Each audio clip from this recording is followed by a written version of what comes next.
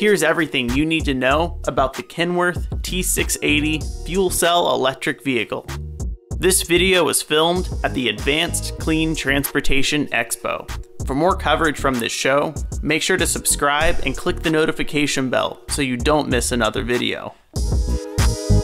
I'm Sean Hennebree. I'm Powertrain Marketing Manager at Kenworth, dealing with all of these great zero emission trucks, such as the one behind me, the freshly announced T680 FCEV. This is really the culmination of seven years that we've been collaborating with Toyota on prototype vehicles, and this is the one that we'll be taking to market in 2025. It combines Toyota's Gen 2 fuel cell stack with the T680 Next Gen, the world's best truck. And so it stores 60 kilograms of hydrogen on board. That gets converted to electricity through that fuel cell stack powers a 310 kilowatt motor and gives you all the power you need to do your regional or long haul driving. It's rated up to 82,000 pounds, uh, so Class 8 tractor. It's a 415 horsepower, 310 kilowatt is the motor rating. Range for this is 450 miles, and you can refuel it in you know 20 to 30 minutes. So that makes it a little bit more similar to the diesel drive cycle that you're used to. We're just so excited to finally announce that we are production ready for this in 2025. I think right now it's a perfect uh, truck for regional haul, distribution center to distribution center. Uh, and then it really has the ability to do the job for a long line haul trucking. Uh, it's just whether the infrastructure is there to support that uh, going out that far. So for now, I think it's more of a out and back until the infrastructure is along all the freeways and, and then it can go as far as we have hydrogen gas for it.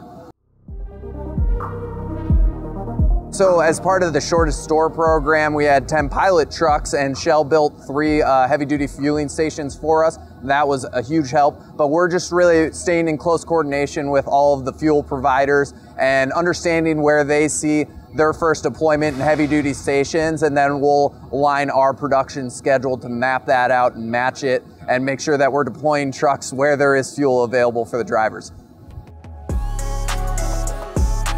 We have a grant incentive experts on staff uh, to really identify all of those federal and state incentives and make sure that you can bring down that uh, top purchase price and make the TCO work comparable to what you would see with diesel.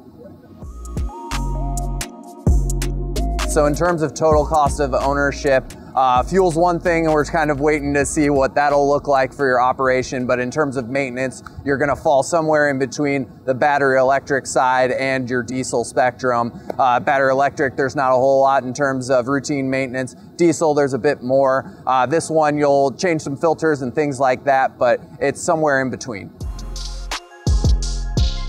A lot of people uh, ask me uh, what's going to win out, hydrogen or battery electric, and I think they're actually complementary. Uh, if we see a route that is under 200 miles and they're not necessarily weight sensitive or, or they have time to charge overnight, then we think battery electric's a great solution for them. Uh, really cut down on the maintenance and the total TCO would probably be less expensive than the hydrogen fuel cell. But if weight is a concern to you, if you need that extended range, or if you're slip seating and you need turnaround time quickly, then the hydrogen fuel cell might be a better technology choice for you for that specific application.